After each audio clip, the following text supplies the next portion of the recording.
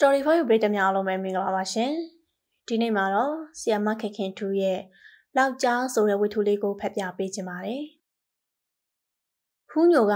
ညောင်ကုန်းရွာမှာပြဆက်မင်းသားဟောင်းပြဆက်မင်းသားဆိုလို့ဘယ်စက်မှလိုက်ခတ်ဘူးတာမရှိပါဘူးဇက်နောက်လိုက်ဖို့နေနေသားသားဇက်ပွဲတပွဲညောင်ကုန်းရွာရောက်ဖို့ဆိုတာတော့စိတ်ကူးဖြစ်တာမှမဟုတ်တာညောင်ကုန်းရွာကတဖက်ပိတ်ရွာ ရွာအနောက်မှာအေယာဝတီမြစ်ကြီးရှိတယ်။ရွာအရှိမကဖုန်ကြီးကျောင်းနှစ်ကျောင်းနဲ့ရှေးစေတီပြကြီးရှိတယ်။ရွာကလူတွေခမအနောက်ဘက်ထွက်ရင်မြင့်ကဘာထိတ်လမ်းဆုံးတော့တာပဲ။အရှိဘက်ထွက်ပြန်တော့ဖုန်ကြီးကျောင်းတစ်ကျောင်းကျောင်းရောက်ဖို့ပဲ။ဖုန်ကြီးကျောင်းကြော်ပြီးသွားချင်လို့လည်းမဖြစ်ဘူး။ကျောက်စရစ်ကုန်းတဝက်ဆက်ပချင်းမြေတဝက်နဲ့မြေရဲလို့ ညီညီညာညာရှိတာမဟုတ်တော့ဖုန်ကြီးကြောင့်တကြောင်ကြောင်ရောက်ပြီးတာနဲ့လှည့်ပြန်ရုံပဲတရတရကူးကျင်ရင်တော့ဖြစ်ပါရဲ့တောင်ဘက်ထိုးထိုးပေါက်သွားရင်ကျွဲကုန်းရွာကိုရောက်မယ်မြောက်ဘက်ထွက်ရင်လှေကုန်းတရတရနီးလာတာလည်းမဟုတ်ဘူးမနီးလို့လမ်းကောင်းတလားဆိုတော့လည်းမကောင်းဘူးနွားလှဲတောင်ဝန်ရိုးကမိခိုးထွက်အောင်ယုံမှလိုရာခရီးရောက်နိုင်တာဆိုတော့ နွားတွေမျက်ရည်ဖြန်းဖြန်းကြရတဲ့လမ်းမျိုးလေကုန်းဘက်ထွက်တော့လမ်းကအဲ့ဒါတော့မစိုးပါဘူးတွားဖြစ်တယ်ပြောပါတော့ဒါပေမဲ့လဲဘိန်းကလဲဆိုင်နဲ့တဝက်ကြော်ကြော်မြုပ်တဲ့လမ်းမျိုးဆိုတော့ဘယ်သူကားမှနွားအပင်မမခံဘူးတော်ယုံဝန်းမပါရင်တုတ်ခနဲ့ထချောက်ကြတာပဲကမူကတင်းကုန်းယိုကျင်းကြိုက်စင်းကြီးတက်ရှိနဲ့လိုရာခရီးရောက်ကြရတယ် အဲ့ဒါလိုရွာကိုဆက်တဆက်ရောက်ဖို့ဆိုတာခက်တာပဲရွာကဆင်းရဲတော့ဖျားပွဲရဲ့လို့လဲငှားနိုင်တာမရှိပါဘူးစိတ်ပါတဲ့နှစ်အရက်ကစုပ်ပေါင်းပြီးရွာတီးဝိုင်းနဲ့ကလိုက်ကြတာမျိုးရှိတယ်လို့စိတ်မပါကြပြန်တော့ဖုန်ကြီးကြောင်ဝင်းထဲရှင်ပွဲကလေးဘောလုံးပုတ်ပွဲကလေးလောက်နဲ့ပြေးရတာပါရွာတီးဝိုင်းကတော့ပြည့်ပြည့်စုံစုံရှိတယ် မောင်းဆိုင်ဆရာကိုတန်းကျော်ရှိနေသေး၍ရွာမှာမောင်းဆိုင်တန်ရှိနေလေတော့တန်ရာတန်ရာသူရိယာပစ္စည်းကလေးတွေတွဲကဖက်ကနဲ့စုကြရာကရွာတီဝိုင်းရဲ့လို့ဖြစ်လာတာပါပဲနှဲဆရာကိုပါအော်ရှိတယ်လကွမ်းအုပ်ဆရာကိုလှပေါ်ရှိတယ်ဒိုးဆရာကိုမင်းရှိတယ်စီဝါဆရာကိုဖုံးညောင်းရှိတယ်ညောင်ကုန်းရွာကတီးဝိုင်းဆိုတော့မတီးပဲထောင်ထားတဲ့ဘင်မှာ ညောင်တန်းကျော်သွေးရရဆိုတဲ့စလုံးကြီးရေးထားလေရဲ့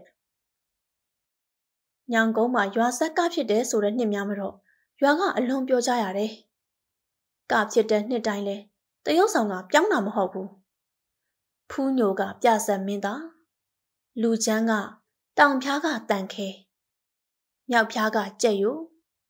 နောက်လိုက်တွေကဘာတောင်းတို့ပေတီးတို့ဖိုးထောင်တို့လူကြီးခန်းက လှဲထောင်ကိုမဲကျော်မိမကြီးကဒေါခင်တုတ်မင်းသမီးကမအေးစိန်ဒါပဲ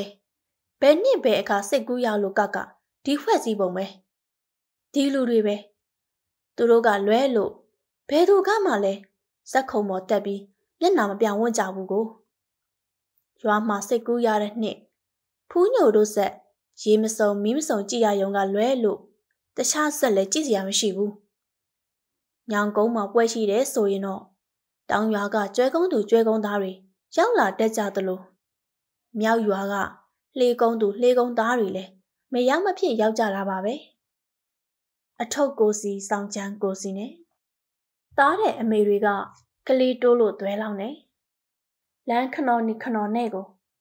နင်းကြိုးနင်းကြွန်နေပြီးအုတ်ကြီးတင်းကြီးရောက်လာကြတာပါ မိုးကြီးမှောင်တာမွေမကြောက်ကင်းမကြောက်တာလာရတယ်။တနှစ်လာလဲဖူးညုံနဲ့အေးစိန်တနှစ်လာလဲဖူးညုံနဲ့အေးစိန်ဘဲနဲ့လုံးမလို့ကြည့်စရာပွဲမှမရှိတာကလေးမအေးတွေကပြစ်တောက်ပြစ်တောက်ညီကြရင်လဲလန်းဆိုင်တွေထဲကယုံသက်နေကြတာများမင်္ဂလာဥအောင်မောင်ကြီးဆက်လာကြည့်ကြတဲ့အတိုင်းပဲပါဇက်ကတော့ဖူးညိုလည်းမြစ်တာပို့အေးစိန်လည်းနှစ်ပြားမှမတန်အောင်ကဲ့ရဲ့ကြသေးတာပါ တချို့ကတော့စိုင်းကိုကဲ့ရဲ့ကြတယ်။ညောင်ကုန်းမောင်းဆိုင်ကကိုတန်းကျော်တီးတဲ့မောင်အကောင့်လောက်ရတကောဟာအမဗျာဒါတော့တန်းကျော်ကသူ့ကိုယ်သူဥဟန်ပါကြီးမှတ်နေတာဗျမျက်နာကြီးပင့်ထားလိုက်တာများမေးစိတ်အဝိုက်လိုက်ကြီးဖုန်ကြီးပြန်တိုင်းတဲ့ရှင်းလောက်ကောင်းတာပါကွာလက်ခတ်တခြားဘူးတခြားပါယောနေကကို တော်တော်တီနဲ့ပြီးတာချင်းပဲတရှင်းမှုတ်လိုက်ရတဲ့ရှိပောင်ကွာတောင်ရွာနဲ့မြောက်ရွာကညနေနေကြပြီဆိုတာနဲ့တာဝန်တရက်လိုအုတ်ကြီးတင်းကြီးလုံးကြီးခရချီတက်လာကြတာပဲတိကြည့်ရမယ့်ပွဲကိုလည်းအထင်မကြီးဘူးဇက်နဲ့တွဲမဲ့ဆိုင်လည်းအထင်မကြီးဘူးညောင်ကုန်းရွာသူရွာသားတွေကကောသူတို့ကလည်းမထူးပါဘူးကို့ရွာကကို့လူတွေကမဇက်ဆိုပြီးတိ အရားပြည်လောက်တဘောထားကြတာပါကျွဲကုန်းတို့လှေကုန်းတို့ကပွဲကြည့်တွေပွဲကွင်းဘက်မဲမဲမဲမဲနဲ့ကြိတ်ကြိတ်တိုးကြတာကိုကြည့်ပြီးဖြစ်ရလေချင်းအောက်မေ့ကြတယ်တချို့အမှုသမားကနေရွာကပွဲကြည့်လာကြသူတွေကိုရွာထိတ်ကစီးပြီးငေါ့ရှင်ငေါ့သေးတာအမ်မဗျာဖူးညိုနဲ့အေးစိန်ဆက်အကောင့်လို့လို့ကို့အိမ်ကိုရက်တောင်တစ်ချောင်းနဲ့အိတ်ကြပါရော့လားခမည်းတော်မို့ အိတ်ဆူဆူခွေးလက်တို့ဝတ်မကင်းနိုင်ဘူးကိုမောင်ရအဲ့ဒါလိုရွာနဲ့အဲ့ဒါလိုဆက်အဲ့ဒါလိုသဘောထားနဲ့အဲ့ဒါလိုပွဲကြည့် break တဲ့အချိန်တန်တော့လဲပွဲခင်းတဲ့လူပြေတာပါပဲသုံးရွာတစုတစည်းတဲ့စုကြတဲ့ပွဲဆိုတော့လူမနေဘူးပွဲကြည့် break တဲ့သူကဖူးညိုနဲ့အေးစိန်ကိုလည်းသိပါရဲ့ဘာသရှင်တွေဘာဇလန်းတွေကမယ်ဆိုမယ်ဆိုတာကိုလည်း သိပါရဲ့ဒါပဲသိပွဲညဆိုတဲ့အရသာကရှိသေးတာမဟုတ်လားရေနံချင်းမိတိုင်တထိန်ထိန်နဲ့တော့တရေစားတဲ့စီဝါနိုင်ချင်းနဲ့ခောက်ဆွဲတဲ့တွေအကြော်တဲ့တွေနဲ့ပျော်စရာကောင်းတာလဲအမှန်ပဲပွဲစည်းလဲရတာကလည်းကာလာသားကာလာသမီးတွေအဖို့ရာချားတောင်ချားပါအခွင့်ရေးဆိုတော့ရှောက်ပြန်တန်ပေးလုံနိုင်ကြတယ်ဒါက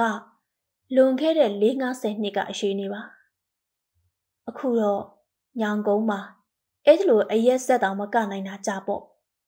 ဖူညိုကလည်းအရွယ်ရပြီအေးစိန်ကတော့ငကိုကလေးကကလေးအမေးဆိုတော့ရုပ်ကြမ်းထိုးပြီအေးစိန်ယောက်ျားကိုတောင်းပေါ်ကတော့သူ့မိမကိုတော်ပါတော့ဟာနေဟာဖူးညိုဖက်လို့လူပွန်းတာပူရဇက်ခုံမော်ရွှဲဆိုင်မှာပူရနဲ့မကနဲ့တော့တဲ့ ကိုတောင်းပေါ်နဲ့အေးစိန်ကရွာမှာအကြော်ရောင်းကြသူတွေပါဒီစကားကြားရင်ဖူးညိုကကိုတောင်းပေါ်ကိုပြန်អော်တတ်တယ်အမဖူးညိုဖက်လို့လူပိုးနာပူရမှာဖြစ်ရသေးခမရမရရေမရှိုးမိုးမရှိုးပြဆက်တဲ့မလွဲတာလို့ဖတ်တာများနှုတ်ကျင်စောတောင်းနန်းဒီဒါဆိုရင်ကိုတောင်းမော်ကရည်တာပဲမောင်လိုနှမလိုတရွာတဲ့နေကြသူတွေဆိုတော့ ပြောမနာဆိုမနာထဲကကိုအကျော်စီပူအိုးတွေကကျွမ်းလာပြေထင်တဲ့အကျော်ဒုံးနဲ့ထိုးဆက်ရင်းကဖူးညိုကိုစတယ်တော်ကြပါတော့ကွာညောင်ကုန်းမှာလဲဒီလူနဲ့ဒီဆက်ရိုးလှပေါ်ဟာမနေ့တုန်းကလှေကုန်းလှေသမားပြောသွားတာကြားရင်မင်းတို့သိချင်ရောမယ်ဘာများတယ်တော့ဒီလိုတာစက်ကနေရင်လှေကုန်းရောကျွဲကုန်းပါရွာလုံးကျပြောင်းကြတော့မတဲ့ ရွာမရှိဆိုင်မရှိရွာတွေကများပြောရတယ်ရှိတယ်ပြောခဲ့တယ်လို့ပဲဒီနောက်တော့ညောင်ကုန်းမှာပွဲရဲလို့လဲမကဖြစ်ကြတော့ပါဘူးနောက်ပေါက်ကလေးတွေကလည်းစိတ်ဝင်စားကြသလိုကဖူးလက်စာဖူးညိုလိုအေးစိန်လိုပြဆက်မင်းသားမင်းသမီးတွေခမရလဲအသက်တွေရကြပြီကိုဆိုင်းစရာကိုတန်းကျော်ဆိုရင်မောင်းတွေဂုံဒီအိတ်ဟောင်းတဲ့ထည့်ပြီးထုတ်တန်းရှိတ်ထားတာကြပေါ့နှဲစရာကလည်း လေးမလိုက်နိုင်တော့ဘူးရှောက်လုံးပဲပမဆောင်အုပ်ဆောင်သည့်ဆရာကလည်းလေးဖြတ်သွားခဲ့ပြီမကြပါဘူးလေးငါနှစ်လောက်နေတော့ပြဆက်မင်းသမီးဟောင်းအေးစိန်အနာဝင်ပြီးဆုံးချတယ်။ကိုတောင်းမော်ကြီးခမညာအသက်အရွယ်ရမှသားသမီးတွေနဲ့ရရလောက်ကင်စားနေရပြီ။အကျော်တဲတောင်ပြိုပါပြီ။ဖူးညိုလည်းမထူပါဘူး။လူပြိုလူလွတ်ဆိုတော့ အရွယ်ကလေးကြံတာကလွှဲရင် အသက်မနှဲတော့ဘူး။အခုတော့ကိုဖူးညိုပေါ့။ဥဖူးညိုပေါ့။ဒီလိုခေါ်ကြရင်ဖူးညိုကမကြိုက်ရှင်ဘူး။ပြဆက်မင်းသားဖူးညိုပါကွာဆက်များရှိရင်တရှိတလားကလိုက်ရှင်သေးဟာဟုတ်ငါအရွယ်ကောင်းတော့ကကခဲ့တာများမင်းတို့မြင်စိတ်ရှင်တယ်300စလုံးညွတ်နေအောင်လာကြရတဲ့ကောင်ဗျာအာကမှတ်လို့ အရွယ်ကြီး40ကျော်50ဆိုပေသည့်တခါကပြတ်ဆက်မင်းသားလောက်ခဲ့မှုတဲ့အချိန်ကမသိချင်သေးဘူးကိုဖူးညိုတယောက်ရွာထဲတလားလာနဲ့ရှိသေးတယ်မအေးအိုးကြီးနဲ့မလောက်ချိုးဆန်ရွှေတာရတာပေမဲ့အိုးပိုင်အိမ်ပိုင်ကလေးရှိတာရဲ့ရှားမြေအေးက3မက်လောက်ရှိတာရဲ့ဆိုတော့မြင်းငါးခကလေးရနေတော့ကိုဖူးညိုအလုတ်ခါကျိုးလောက်ရတာမျိုးတော့မရှိဘူး မအေးအိုးကြီးမြေဆိုင်အင်္ဂလိပ်ထဲထားခဲ့ပြီးငင်းချံလိုမျိုးပဲတက်ရှင်တဲ့အခါတက်သွားတာပဲပြဆက်မင်းသားဟောင်းမင်းတက်ကြားဆိုတော့ခါမရှိုးခြင်းဘူးမအေးကမိမယူပါငါသားရဲ့ပြောတော့ကျုပ်ကအမေ့လှုပ်ကြွေးမှာမိမလှုပ်မကြွေးဘူးဆိုသေးတာတော်မမွေတော်မကြီးပေတိရာထွန်ကိုင်းထွန်တစမ်းမှဝါသနာမပါဘူးမြေကြီးကိုစွာ တစ်စီကလေးကျဲမနဲ့တိုင်းတစ်ခင်းနဲ့သွားကြည့်အပင်ကလေးတညှို့လောက်ကဖြစ်ရတဲ့အသည့်အပွင့်ကိုစောင့်ရတာကျင်းတာလဲပါတယ်လဲပင်မဖလာပတ်ပြီးစက်မင်းသားလိုရွရွကလေးနေတာပဲကြားလာပေါ့ဖူးညိုရဲ့မအေအိုကြီးပြစ်ထားပြီးဘဲ့နဲ့မြင်းချံတက်နေတာတော့နင့်အမေတဝမ်းတစ်ခါတော့အမတို့ကျွေးနိုင်ပါတဲ့နိုးပစီတားရင်ခောက်ကောက်အနားရှိမှ မအေးစိတ်ဖြောင်းတော့မပေါ်ဟဲ့မင်းနဲ့အိုးပြစ်အိမ်ပြစ်တခါတလေပြန်လာရင်ရွာကအမဝမ်းခွဲတွေကစီးဆူကြတယ်ဖူးညိုကဒီအခွက်ကိုသိပြီသားအမတွေဆွေမျိုးတွေကမအေးအိုးကြီးပြစ်မထားဘူးဆိုတာသိလေတော့သွားချင်တယ်လို့သွားနေတာပါပဲမင်းသားဟောင်းဆိုတော့မျက်နာခံကလည်းတက်တယ်ခမ ्या တော့မသိပါဘူးဗျာကျောက်ကအလကားသွားနေတာမဟုတ်ဘူးဗျာ စီးပွားရေးလုပ်ဖို့မြို့သွားသွားကြည့်တာအောင်မကကြီးပုတ်လောက်ရေးနင့်လိုကောင်ကမြို့တက်ပြီးပွဲယုံများထောင်အောင်မလို့လားကိုမီကိုရမမတ်တာထားမဲအေးကြီးခမနေလားညလားဖြစ်နေတာမင်းမို့ကွယ်မရပါဘူးဘယ်သူကမှတားလို့စီးလို့မရတော့ဆွေမျိုးတွေကလွတ်ထားရတော့တယ်မအေးကြီးကတော့ တားလူပြိုဖူးညိုကို ခုထိကလေးမှတ်တုံးကိုတခေါက်ပြန်ချီအောင်မဲဆိုတိုင်း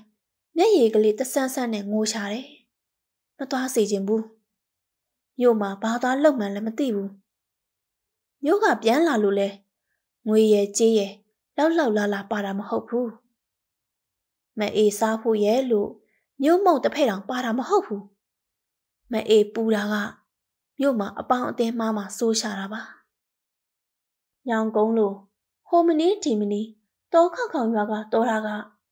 မြို့မှာဘာသာလှုပ်ရှားလို့ရမှာတော့ဆိုတာပါတယ်လို့ရွာမှာပဲအိုကင်းပူတိုင်းလှုပ်ရှားစေချင်တာလဲပါရဲ့မပူစမ်းပါနဲ့အမေယာအမေရွာမှာနေနိုင်ရင်ပြီးတာပဲကျုပ်ကမြို့သွားတာအကြောင်းရှိတယ်မြို့မှာနေနိုင်မှလူတလုံးသူလုံးဖြစ်မှာပေါ့ဗျကျုပ်ကောင်းစားရင် အမေကောင်းစားဖို့ရှိတာပဲ အကုတို့ရဲ့ငါကောင်းစားဖို့အရှိမရှိတော့ပါဘူးလူမိုက်ရဲ့ငါဖို့များရှိပါစေတော့မင်းသာရွာမှာအမေနာနေပါအမေတို့ပိုင်တဲ့ယားကလေးသုံးမက်ဆိုတာရွာမှာအထက်မသေးပါဘူးကိုယ်တိုင်လှုပ်စားရင်ပိုတောင်းကြံနေရွာမှာလောက်ကင်စားပါငါသားရဲ့ဧကသုံးမှတ်လောက်မြင်နဲ့ဘယ်နဲ့လို့ကျုပ်ကလူလို့ရမှာတော့အမေရအမေခွင့်ပြုရင် ကျုပ်ကအဲ့ဒီယားကလေးတောင်ရောင်းလိုက်ရှင်သေးဗျာ။အိုးဖះဖះငါမိငါဖဘိုးဘွားကလက်ရောက်ရခဲ့တဲ့မြေကြီးမြေစာမင်းမူကြံစီရက်ပလေမယောင်းရပေါင်တော့ငါသိရင်တော့မယောင်းရဘူးအမေနဲ့တော့ခတ်တော်တာပဲဗျာအမေတိမ်မတော့ကျုပ်ပိုင်ပြီပဲဗျကျုပ်တဘောပေါ့ကျုပ်ကတော့အမေခနစ်တည်ခနစ်ရောင်ပဲမအေးအိုးကြီးခင်ဗျာ မျက်ရည်ကြယုံကလွဲလို့ဘာမှပြန်မပြောနိုင်တော့ပါဘူးဖူးညိုအကြောင်းလဲသိတာကိုဖူးညိုကမွေးကလေးကရွှေထွက်အောင်အလုံးမလုပ်ခဲ့ဘူးဘူးဘယ်လိုကဘလို့ပါလာမှမသိတဲ့ပီစာဝါဒနာကစိတ်နုလူနုဖြစ်အောင်တွန်းဖို့တလို့ဖြစ်နေတာလဲနားမလည်နိုင်အောင်ဖြစ်ခဲ့ရတယ်။ထင်တဲ့အတိုင်းပဲငငယ်ကဖအိပစုဟောင်းဝလုံးဝရှမ်းရှို့ပြီးဇက်ခုံကလကလို့ကခဲ့တဲ့သား ကြီးလာတော့လေရွာပြဆက်မင်းသားဖြစ်လာတာပါပဲဒါပေမဲ့ပတ်စံရတဲ့အလုပ်မှမဟုတ်တာပဲတစ်နှစ်တစ်ခါနှစ်နှစ်တစ်ခါငါးနှစ်တစ်ခါစိတ်ကူးရမှထကားတဲ့ရွာဆက်မှာပြဆက်မင်းသားဖြစ်ခဲ့ဘူးတာလောက်ရှိတာပဲအနီးအနားနှစ်ရွာနဲ့ရွာကကြည်ရှင်ပွဲဆိုဆိုမကြည့်ခြင်းပွဲဆိုဆိုမောမောမောမောကြည့်ကြတာကလွဲလို့ ဘယ်သူကမှလည်းအကောင်းပြောကြတာမဟုတ်ဘူးကိုတညစာသရင်တိုက်ပျော်လိုက်ရတာပဲရှိတယ်ပွဲပြီးတာနဲ့ရွာကခေါင်းထဲတောင်ရှိတာမဟုတ်ဘူးတို့ပေတိဖူးညိုကတော့စိတ်တွေလေးပြီးကြံရစ်ခဲ့တယ်ပြဆက်မင်းသားဘဝရောက်တဲ့အထိဘာမှဟုတ်တိပတ်တင်ဖြစ်ခဲ့ဘူးသားစာသမီးစာရဲ့လို့မအေးအိုခမညာစားတပွင့်မရက်ခဲ့ရဘူးဘူး ဒီလိုနဲ့ရွာကပျောက်သွားလိုက်နှစ်လသုံးလတခါပြန်ပေါ်လာလိုက်မြို့မှာဘာလို့စားနေမှန်းလဲမအေးရဲလို့မသိရတာထားဖူးညိုကလည်းကျုပ်တော့ဘာအလုပ်ဖြင့်လုပ်နေတယ်တခါမှမပြောဘူးတစ်ခေါက်ပြန်လာတော့ရွာကဝိုင်းမိတော့မှနင်းချံမှာစိုက်ကားနင်းနေတဲ့ဖုန်ကြီးကြောင်ရိတ်ခိုပြီးမြို့အဆက်အတွေ့နဲ့ စိုက်ကားနင်းနေလေရဲဆိုတဲ့စကားမအေးကြတော့လေမအေးကိုတိုင်းကစိုက်ကားဆိုတာမြင်ဘူးတာမဟုတ်ဘူးကို အနှိတ်အနှင်းလိုက်တဲ့ထင်ရှားသေးတာပါငါသားနဲ့ကွယ်မျိုးမရှိရိုးမရှိ အနှိတ်အနှင်းလိုက်ရတယ်လို့မင်းလည်းအနှိတ်အနှင်းမတက်ဖ ೇನೆ ဘယ်လိုလူများမင်းကနင်းရတာတော့သူတကအပူကိုကူးပါအောင်မယ်ရောဗျာစိုက်ကားနင်းတယ်ဆိုတာ အနှိမ့်အနှိမ့်လိုက်တာမဟုတ်ပါဘူးစိုက်ကားဆိုတာကိုနင်းတာဗျာလူတွေကတက်စီးတော့နင်းခရတဲ့ဗျာစိုက်ကားပိုင်ကိုအုံနာကြီးပေးပြီးကြံတာကိုရတယ်ဗျာနို့စိုက်ကားဆိုတာဘာတော့စိုက်ကားဆိုတာစိုက်ကားပေါ့ဗျာခမရကျုပ်ကဘယ်နဲ့လို့ပြောရမှာတော့ညောင်ကုန်းရွာကမြင်းချံမျိုးလောက်ကိုရှာရှာပါပါတစ်ခေါက်တချင်းရောက်ဖူးသူကလွဲလို့ ကိုဖူးညိုပြောတဲ့စိုက်ကားဆိုတာကို ပုံဖော်လို့မရကြဘူးတရက်တော့ကိုဖူးညိုရွာရောက်တခိုက်ဘာကြီးဘာထွေးတွေကခေါ်မိတယ်သူတို့ကိုယ်တိုင်လဲညောင်ကုန်းကလွဲလို့တောင်ဘက်ကျွဲကုန်းမြောက်ဘက်လှေကုန်းတောင်တစ်ခေါက်ကနှစ်ခေါက်ရောက်ဖူးကြတာမဟုတ်တော့မြင်းချံမျိုးကစိုက်ကားဆိုတာကို မျက်စိထဲမမြင်ဘူးဖြစ်နေတယ်ဖူးညိုကမြေကြီးပေါ်တုံးနဲ့ချစ်ပြီး စိုက်ကားပေါ်အကျန်းထဲဆွဲပြရရောမြေကြီးပေါ်တုံးနဲ့ထောက်ထောက်ပြီးရှင်းပြတယ်ဘိန်းနှစ်ဘိန်းကတဲ့တဲ့တဘိန်းကဘေးကအတွဲသုံးဘိန်းပါတယ်ပေါ်ဘာထွေရကျုပ်ကဘေးတွဲပေါ်လူတင်ပြီးနှစ်ဘိန်းပေါ်ကနင်းရတာ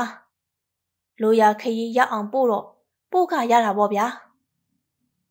စီးတဲ့လူကိုမင်းကကြောပိုးရတာလားမဟုတ်တာဗျာ ဘေးတွဲမှာထိုင်ခုံပါတာကိုဗျအဲ့ဒီပေါ်လူတင်ရလားတလိန်ကောက်ကွေးကြမကုန်ဘူးလားငါတူရခတ်တော်နေပေါ့ဗျာခမားတို့လည်းမျက်မမြင်စင်စမ်းဆိုသလိုလက်စုပ်လက်ကင်ပြဖို့ခတ်သားကပဲနို့မသိလို့မေးပါအောင်မယ်ရွာမှာကုမြေကလေးမက်ဆီလောက်ရှိတာလှုပ်စားရင်အေးစိနေပါရော့လားမြို့တက်ပြီးစိုက်ကားနဲ့လှဲတိုက်လိုက်ရတယ်လို့ ဘယ်ကလာလှဲတိုက်ရမှာတော့ကျုပ်ကစိုက်ကားကိုအမြဲနှင်းမှာမဟုတ်ပါဘူးဗျာလောက်ကြားမဝယ်နိုင်သေးလို့ပါလောက်ကြားစိုက်ကားဆိုတာဘာမှမသိကြသူတွေကဖူးညိုလောက်ကြားဝယ်အောင်မယ်ဆိုတော့အံ့ဩကြတယ်လောက်ကြားဆိုတာဘာပါလဲစိုက်ကားလိုဟာမျိုးပဲလားဘာတော့กว่าလောက်ကြားဆိုတာလောက်ကြားကလူမနေရဘူးဗျတက်ခွာယုံပဲသူ့ဘာသာသွားတာ မြို့မှာလောက်ကြားတွေပေါ်နေပေါ့ဟာခမားတို့တာတော့မှအချိန်ကုန်နေကြကျုပ်ကလောက်ကြားစီးကျင်တာရဲ့လောက်ကြားဆိုတာလူလားတရဝါလာမကွဲကြသူတွေကိုသူတို့မှဖူးညိုကလောက်ကြားဝဲခြင်းလို့မြို့မှာရှေ့တလုံးတောက်အောင်ငွေရှာနေတယ်ဆိုတာကိုအထိတ်ပေတော့ရှိလိမ့်မယ်လို့တွက်ကြတယ်ဖူးညိုစိတ်ကူးကမျိုးကလူတော်များများလောက်ကြားတွေတတိတိစီးနေကြတာမြင်ကလေးက လောက်ကြားတစည်းတော့လူဘဝလူဖြစ်ရတခိုက်စီးရမှလူဖြစ်ရကြုံနှက်မှာပေါ့လို့တွေးထားသူကိုဒီတော့သူ့စိတ်ကူးကိုအကျန်းလောက်ခင်းပြလိုက်တာပါဒါပေတိသူ့ဘာထွေးတွေကဘာမှမသိကြပြန်ဘူးပခုတ်ကူမှာမရေးတဲ့ကြရတဲ့အထဲအလာကပ္ပကတမောင်ဆိုတာမျိုးပေါ့စိုက်ကားတော့မျက်စိတွေမမြင်တဲ့ဟာလောက်ကြားဆိုဝေးရော့ လောက်ကြားဝယ်ဖို့စူးစမ်းနေတယ်ဆိုတာကြတော့အမေမောင်ဦးလေးဖြစ်သူကမေးတယ်လောက်ကြားဆိုတာဘာတော့ငါသူရနွားလားနှကြားများတော့ကြံကောင်းစုံကောင်းဆောက်တော့ကွာနော်မင်းဝယ်ရင်နားလေတဲ့သူပြဝဲဖူးညိုကခမ ्या တို့တော်သားတွေနဲ့တော့မိုးလင်းတာတော့စခန်းချနိုင်မဲ့လူတွေမဟုတ်ပါလားဆိုတဲ့မျက်နှာနဲ့မထီတရီပြုံးတယ်။ညောင်ကုန်းကိုလောက်ကြားရောက်လာမှသာ ကြည်ကြတော့ပြိုးဆိုတဲ့ကြိုက်ဖမ်းလိုက်သေးတာပါ။လောက်ကြားဆိုတာဘဲနဲ့လို့နွားဖြစ်မှာတော့ဦးလေးရ။စိုက်ကားထက်ကောင်းတဲ့ကောင်းပြ။မြို့မှာတော့ဆိုင်ငယ်ခေါ်ကြတာပဲ။အမျိုးအစားတွေအများကြီးရှိတာပေါ့ဗျာ။အဲ့ဒီအထဲမှာလောက်ကြားကအကောင်းဆုံးပြောကြတာပဲ။ရွာရောက်လာရင်ဦးလေးတို့တွေ့ရမှာပါ။ကျုပ်ကငွေနန်းနဲ့လိုးနေလို့ရဲ့ အမေရာကလေးငါးမှုလောက်ဖက်ရောက်ရင်ဖြစ်တယ်ဗျအမေကနှမျောနေလို့ရဲ့အမေရာကွက်ငါးမှုလောက်ဖက်ရောက်ပြီးဝယ်ရမယ်လောက်ကြားဆိုတာကိုအံ့ဩနေကြတယ်တော်သူတောင်နာတွေဆိုတော့လောက်ကင်စားစရာမြေကထမင်းအိုးကိုထမင်းအိုးရိုက်ခွဲရမယ်ဆိုတာဖြစ်မှမဖြစ်ကောင်းတာပဲလောက်ကြားမကလို့လောက်ဖျားဖြစ်ဖြစ် သူတို့ကလည်းဘာမှန်းတာမသိပေမဲ့သဘောမတူချင်းကြဘူး မအေးစိတ်ဆင်းရဲအောင်မလုပ်ချင်ပါနဲ့ငါတူရငါအမအသေးဖြောင်းစမ်းပါစီမင်းနဲ့မြေရောင်ပြီးလောက်ကြောဝယ်ရမယ်လို့မဟုတ်တာမင်းလောက်ကြောကစက်သွန်ထွက်လို့နှမ်းထွက်လို့ဆိုရင်လေထားတော့ကျုပ်ကတော့အမေတေတာနဲ့ရာရောင်ပြီးဝယ်မှာပဲအမေကလည်းတီးလာကောင်းချက်ဗျာသူ့အမအိုကြီးအိုမကို မတော်တာပြောရပါမလားဆိုပြီးဦးလေးဖြစ်သူက အနားရှိတဲ့ထင်းချောင်းထဆွဲတော့မှဖူးညိုတော့ရပြေးခဲ့ရတာပါနောက်တနေ့မနေ့မအေးသားတဲ့ကြားကပဲမြင်းကြံပြန်ပြေးလာခဲ့တယ်နှစ်လတစ်ခေါက်သုံးလတစ်ခေါက်တော့ရွာပြန်လာပါရဲ့မအေးလွမ်းလို့မဟုတ်ဘူးအရှိအနေပြန်ပြန်အကဲခတ်တာပါမအေးလက်စုပ်ဘိုးငွေဖွားငွေမြေကလေးအေးကသုံးမဲ့ရောင်းချင်လွန်းလို့ဥကိုရလို့ရှေးရှေးကအဖိုးအဖွားတွေ ဒီလိုမြေလက်သဆုပ်ဘယ်လိုရှစ်ကုတ်တိမ့်ထုတ်ရတယ်ဆိုတာကိုလည်းဖူးညိုကောင်းတဲ့မရှိတော့ပါဘူးဘိုးငွေဝါငွေမြေရောင်းပြီးလောက်ကျောင်းဝယ်ဖို့ပဲခေါင်းထဲရှိတော့တာပါတရတော့ရွာကညီဝမ်းကွက်တယောက်မြင်းချက်ကိုလိုက်လာပြီးဖူးညိုကိုရှာတယ်မအေးအိုကြီးရွာမှာဆုံးချပြီတဲ့ဖူးညိုကလည်းတုတ်ခနဲ့ထလိုက်လာတာပါပဲမအေးအလောင်းမြေကြပြီးမကြပါဘူး ဖူးညိုလက်ထဲငွေတွေအထုတ်လိုက်ရလိုက်ပြီဆွေတွေမျိုးတွေတားတဲ့ကြားကရာမြေဧကငါးမှုရောင်းလိုက်တဲ့အခါရွာစည်းနဲ့ငါးသိန်းလောက်ရလိုက်တာဆိုတော့ရွာမှာဖင့်မှုအောင်မနေတော့ပါဘူးမြေရောင်းရတကောရဲ့လို့ရွာကသူလေးသူမလေးတွေတောင်မုံဖိုးရဲ့လို့ကြက်တန်တပြက်မပေးခဲ့ဘူးအဲ့တလောက်အထိမကြပါဘူးညောင်ကုန်းကိုလောက်ကြားရောက်လာခဲ့ပြီ ညောင်ကုန်းတင်မကတောင်ရွာကျွဲကုန်းနဲ့မြောက်ရွာလှေကုန်းကပါလောက်ကြားဆိုတာကိုလာကြည့်ကြတယ်တရှိန်တခါကဖူးညိုအေးစိန်ကားတဲ့အရက်ဆက်လာကြည့်ကြသလိုကြည့်ကြတာပါနှစ်တွေတာပြောင်းသွားတယ်ရွာလန်းတွေကမပြောင်းတော့ပွဲကြည့်လာကြတော့ကလိုပဲကုန်းချောင်းလာကြည့်ကြတာများခဲလို့ညောင်ကုန်းမှာလောက်ကြားပေါ်လို့တဲ့လောက်ကြားပေါ်လို့တဲ့တရင်ကဆက်ရှင်းပြန့်သွားတာဆိုတော့ လှုပ်လက်စအလုံးပစ်ရှာပြီးညောင်ကုန်းကိုလောက်ကြားလာကြည့်ကြတာဖူးညိုကအင်မတန်ဝမ်းသာတယ်ဖူးညိုပြဆက်မကတော့တဲ့နောက်ပိုင်းဖူးညိုဝဲလာတဲ့လောက်ကြားကိုတပြန်လာကြည့်ကြတာကိုကြည်နှက်နေတာပါဖူးညိုတို့အိမ်ရှိတလင်းပြောင်ထဲလောက်ကြားကိုတောက်ထောက်ထားတော့ဝိုင်းတိုက်ထဲဝင်လိုက်တာနဲ့ထင်းထင်းချင်းမြင်ကြရပြီတခါကမြေရောင်ရမလားရဲ့လို့စိတ်ဆိုးကြတဲ့အမျိုးတွေကထိတ်က ယောက်ျားမဲမဲကြီးဘေးမှာငုတ်တုတ်တွေထိုင်ကြလို့မင်းယောက်ျားကနွားရှိပူထိုးကောင်နဲ့သူ့လေးကွာမဲလိုက်တာပြောင်းလို့ဒီကောက်နှစ်ခေါက်ကလက်ကင်လားမိခွက်တွေများလာချီကောဖူးညိုရမင်းကောင်ကသူ့ခြေထောက်ပေါ်သူရှစ်တစ်ဖက်ထောက်နေတာများငုံကြလို့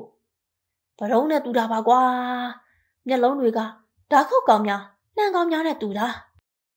ဒါကဘာတွေရေးထားတာတော့ဖူးညိုရလောက်ကြားလို့ရေးထားတယ်ပြောတာပဲမြင်းချံကလောက်ကြားပွဲစားမြမောင်ပြောတာတော့တလုတ်ပြီးကလာတာတဲ့ဗျလောက်ကြားဆိုတာတလုတ်နာမည်နေမှာပေါ့ဟုတ်လောက်တယ်အမှန်ကလူကြီးယာဒါမှမဟုတ်လော်ဂျီယာလို့ရေးထားတဲ့တရုတ်ဆိုင်ကပါမြမအတန်ထွက်နဲ့လော်ကြားခေါ်ကြရကလောက်ကြားတစ်ဖြစ်လဲသွားရတာပြောပါတော့ ဆိုင်ကလောကကလောက်ကြားဆိုတော့ဖူးညိုကလည်းလောက်ကြားပေါ့ဖူးညိုကလောက်ကြားဆိုမှတော့ရွာကလည်းလောက်ကြားပေါ့ဒီလောက်ကြားကိုဖူးညို6သိန်းနီးပါးပေးဝယ်ခဲ့ရတယ်ပွဲစားများမှာအုပ်တာလဲပါမှာပေါ့အုပ်အုပ်လေးပွဲညွှန်းဆိုတာရှိနေကြကိုမြမောင်ကအစီတောင်းတင်ပေးလိုက်သည်ငင်းချံမှာစိုက်က3လရက်မနေမဲ့တင်ခဲ့တာတောင်းနေမြောက်နေနဲ့ လောက်ကြားစီးတက်လာခဲ့တယ်စီးတက်တယ်ဆိုရင်ပဲရွာကိုပြန်ခဲ့တာပါဒါပေမဲ့ရွာကိုထိုးထိုးပေါက်စီးလာလို့ကမဖြစ်ပြန်ဘူးတောင်ရွာကလည်းဝင်လို့မရဘူးမြောက်ရွာကလည်းဝင်လို့မရဘူးဒီတော့ငင်းချံစိတ်ကန်းကနေတဆင့်လိုင်းမော်တော်ဘုတ်ပေါ်လောက်ကြားတင်ပြီးမြစ်ထဲကတဆင့်ကူခဲ့ရတာရွာစိတ်ရောက်တော့လဲစီးမဖြစ်ပြန်ဘူး တောင်ပြန်ကြီးကတင်းခမ်းနေလေတော့ရွာကလူတွေပြေးခေါ်တစ်သားကြောင့်ကြိုးရှိရှိုးပြီးထန်းတင်ခဲ့ရတယ်ညောင်ကုန်းရွာအဝင်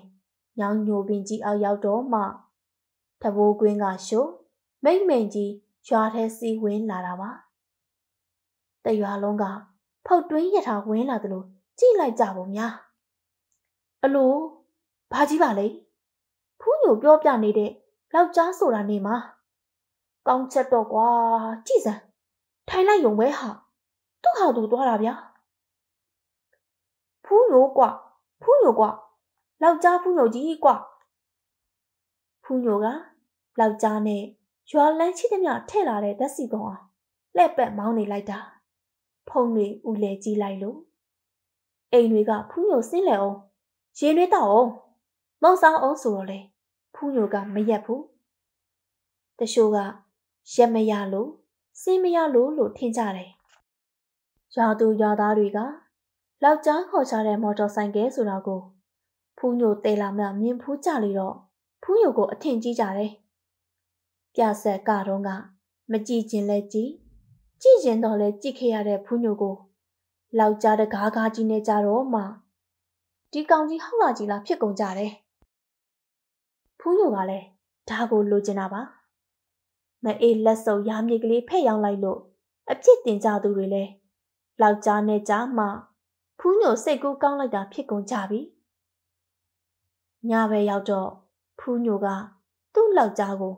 အိမ်အောက်ထိုးသွင်းပြီးပစိုးစုံအုပ်ထားလိုက်တယ်ညဘက်တောင်လာကြည့်ကြသူတွေဘယ်နှဲမှာတော့ကလေးလူကြီးယောက်ျားမိန်းမကအစာရွာဦးဆရာတော်နဲ့ ကိုရင်ဥပစင်းများပါကြောက်လာကြသေးတာပါဆရာတော်ကြီးကမနက်ဖက်လောက်ကြားနဲ့ကြောင်းလာခဲ့ဖို့မိန်နေဖူးညိုကလောက်ကြားရောက်လာပါပြီဆိုတဲ့နေ့ကစလို့တရက်မှကောင်းကောင်းအိတ်မပြောဘူးမနက်မိုးလင်းပါစေစုတောင်းနေတော့တာပါမိုးလင်းတာနဲ့လောက်ကြားစီးပြီးရွာပက်တော့တာပဲတရက်ကနှစ်ရက်ဆိုတော့ဓက်စီကကုန်ပြီဒီတော့ စီဝယ်ထွက်ရပြီစီဝယ်ရတယ်ဆိုလို့နီးနီးနားနားမဟုတ်ဘူးအနည်းဆုံး၃တိုင်လောက်ဝေးတဲ့ရွာတစ်ကုန်းထိတွားရတာပါဖူးညိုလောက်ကြားကစီတော်တော်စားတာတဲ့မင်းနဲ့အဲ့ဒီစီကရွာတစ်ကုန်းလောက်အထိတွားဝယ်ရတာမောင်ကြီးငါသားဆိုနွားဝယ်မှာပေါ့ကွာရွာမှာတင်မျက်ရည်ကျွေးလို့ရတယ်မိုက်ပါကွာနေပါဦး ဖူးညိုကလောက်ကြားဝဲလာတာတော့ဟုတ်ပါရဲ့လောက်ကြားနဲ့ဘာလို့စားမှတဲ့တော့လမ်းကောင်းကောင်းမရှိတဲ့အရက်မြင်းဝယ်လာတယ်လို့ပါပဲကွာကြာတော့ရွာထဲထဲထိုးလို့ဖြစ်နေပါဘကောကြာတော့လေလောက်ကြားကိုရွာကအော်ကလီစမ်းလာကြပြီစန့်ကျင်စံမစန့်ကျင်နေဖူးညိုကဖြင့်မအေးအမွေလက်ကြံရာမီဧကသမန်လောက်ကြားသစည်းနဲ့ ငုတ်တုတ်ထိုင်းနေတော့တာပါသူဟာသူလဲတရက်ကနှစ်ရက်တလားကနှစ်လားဖြစ်လာတော့တွေ့ရပြီသူဘာဆက်လုပ်ရမလဲရွာမှာသူတကမလုပ်တဲ့အလုပ်လုပ်ခဲ့လို့ရွာလှုပ်သွားတာတော့ဟုတ်ပါရဲ့လောက်ကြားတစီအိမ်ရှိမှရက်ထားပြီးရွှေချောင်းပြောင်ပြောင်ဝမ်းခေါင်ခေါင်ဖြစ်နေတာလဲသိရဲ့ရွာကလည်းလောက်ကြားကိုတိတ်အာရုံမရှိကြတော့ပါဘူးလောက်ကြားအတွက် စီထွက်ထွက်ဝေရတာကလည်းမတက်တာလှဘူးအဆိုးဆုံးကကို့ရွာတဲ့ပတ်စည်းနေုံကလွဲလို့အပြင်မထွက်ရတာပါကျွဲကုန်းလဲတွားလို့မရလေကုန်းဘက်လဲထွက်လို့မရအရှိဆရာတော်ကြောင့်အနောက်မြစ်ထဲထိုးစင်းယုံရှိတာကိုနို့ဖြင့်လောက်ကြားကဘာအတိတ်ပဲရှိတယ်တော့ဖူးညိုကိုယ်တိုင်ကသူ့ရှိရပူလာခဲ့ရပြီလက်ကြံမြေဧကသမန် အမဝမ်းကွဲတွေလှုပ်ပေးလို့စားရတာရှိပေသည်ကြာတော့မကြည့်ဖြူချင်းကြတော့တာကလည်းစိတ်ညစ်စရာမြို့မှာတဝီဝီဒုံပြီးနေတဲ့လောက်ကြားခမလဲညောင်ကုန်းရွာတဲ့ငုတ်တုံမဲသည်ဖူးညိုလဲတလင်းထဲကလောက်ကြားငေးရင်ငါသေးရင်တော့မရောက်နဲ့လို့မှားခဲ့တဲ့အမေမြေကလေးနှမျောရမလို့လို့ဖြစ်ုံကလွဲလို့ဘာလို့လို့ ဘာကန်ရမှန်းမသိတဲ့အဖြစ်အမကျုပ်တော့လောက်ကြားကြီးထောက်ရောက်လိုက်တော့မလားလို့နင်းဝယ်ခဲ့တဲ့အရက်နင်းပြန်ရောက်မှာပဲတို့ရွာတွေကတော့လောက်ကြားဝယ်နိုင်သူလည်းမရှိဘူးဝယ်လို့လည်းအတုံးမတည့်ဘူးမက်လည်းမမက်ကြဘူးနင်းလောက်မိုက်တဲ့ကောင်လဲရွာမှာမရှိဘူးအမားကငေါက်တော့ဖူးညိုပြန်မရှိနိုင်ခဲ့ပါဘူးဟုတ်နေတာကို ဘာဖူးညိုအဖြစ်နဲ့အိမ်ရှိကပြင်းထိုင်ကြည့်နေရတဲ့ဘဝရောက်ခဲ့ပြီ။ညောင်ကုန်းရွာကလည်းဟိုတုန်းကအရှိနေမဟုတ်တော့ပါဘူး။ဒီဘက်ဆယ်နှစ်လောက်အတွင်းရွာကပြောင်းပြန်ဖြစ်သွားပြီကို။ရွာမှာပညာတတ်ကလေးတွေရှိလာတယ်။လေကုံကျွဲကုံလမ်းတွေကောင်းသွားတော့မြို့နယ်အဆက်အသွယ်ရှိလာကြတယ်။ရွာအရှိဘက်ဖုန်ကြီးကျောင်းတွေကိုကြော်ပြီးသွားကျင်တော့လမ်းထိုးထိုးပေါက်ပြီးပဲဟာ။ရွာမှာတင် လောက်ကြားတွေများလုံးလို့ရှောင်မလွတ်ရှင်ဘူးမိုးလင်းတာနဲ့ဂီဂီခဲခဲအော်တန်တွေကြားရပြီဆိုင်ကယ်တစိတ်အမျိုးမျိုးနာမည်မျိုးစုံဝယ်စီနိုင်ကြပြီဓာတ်စီကလည်းရွာမှာတင် ပုံးထောင်ရောင်းနေကြပြီမော်တော်ဆိုင်ကယ်ကိုရွာကလောက်ကြားလို့ခေါ်တာတော့မပြောင်းဘူးမကြပါဘူးတရွာလုံးလောက်ကြားတွေနဲ့ဖြစ်ကုန်ပါရောလား ရာခင်းနဲ့မြေပဲဥမဥတွားနှုတ်ကြည့်တော့လဲလောက်ကြနဲ့ခရမ်းကျင်သီးတွေတွားဆုတ်တော့လဲလောက်ကြနဲ့ရွာရှင်လောင်းလှဲ့တော့လဲလောက်ကြတန်းကြီးနဲ့ရွာလူကြီးအိမ်အမှုဆိုင်တွားကြတော့လဲလောက်ကြနဲ့တရွာကရွာအပြိုတွေမိမပိုးလာတော့လဲလောက်ကြားတွေနဲ့ကိုရွာကကာလာသားတွေလှေကုံကျွဲကုံမိမပိုးသွားကြတော့လဲလောက်ကြားတွေနဲ့ တရွာလုံးလဲလောက်ကြားတွေဖြစ်ကုန်ပါဘကောလားဘာထွေရအစ်စ်ပေါ်မောင်ရရွာထဲတောင်လက်ပြပလိတ်ထားရမလို့ဖြစ်နေပြီမင်းကလောက်ကြားပင်မျိုးယူလာမှတော့လောက်ကြားပင်တွေပေါက်လောက်ကြားသီးတွေတီးပြီဗောလောက်ကြားအထွက်တိုးဖြစ်ဖို့အချိတော့တာတရက်ဘာဖူးမျိုးကညီးတော့ဘာထွေးဆန်လာကပြန်ပြောတဲ့စကားပါဖော်ဖြူလက်ကြီး မီးခိုးကူကောင်ဖွာရင်ကဘာဖူးညိုကိုဆက်ပြောနေသေးတာဘိုးငွေဘွားငွေမြေကြီးတွေလဲလောက်ကြားတွေဖြစ်ကုန်ပါပြီကွာကို့မြေကလေးရာကလေးမက်ဆက်ကြတဲ့လူကြီးတွေခင်ဗျာတေးရင်တော့အသေးဖြောင်းကြပါမလားမပြောတတ်ဘူးတို့ရွာဖြစ်ရပုံများကာလနာတိုက်တာပဲဟေးအဲ့ဒီညကဘာဖူးညိုအိမ်မက်မတဲ့ လွန်ခဲ့တဲ့10နှစ်လောက်ကဆုံးချတဲ့မအေးအိုကြီးကိုမှတ်တာပါအိမ်မက်ထဲမအေးအိုကြီးကမျက်ရည်တွေကျလို့ပြောသေးတာငါသားတဲ့အမေတို့ဘိုးမွေဖွားမွေကလေးမင်းဖဲ့ရောင်းလိုက်ကလေးကအမေမကြွမလို့သေးဘူးတဲ့ရွာတဲ့လောက်ကြားတွေတိုက်မိမှစိုးလို့အမေလဲအိမ်ရှိကကုတ်ကုတ်ပင်ကွာပေါ်တက်နေရတဲ့တဲ့အိမ်မက်မကောင်းတော့လောက်ကြားတစီ အိမ်နာကပ်ပြီးပြဲကနေမောင်းသွားတဲ့အတန်ကြောင့်ဘာဖူးညိုလန့်နိုးသွားတယ်ဘာဖူးညိုငုတ်တုတ်ထထိုင်ပြီးတွေးတယ်မနက်တော့စွန်တအိုးချက်အမေကိုရီးဆူပြီး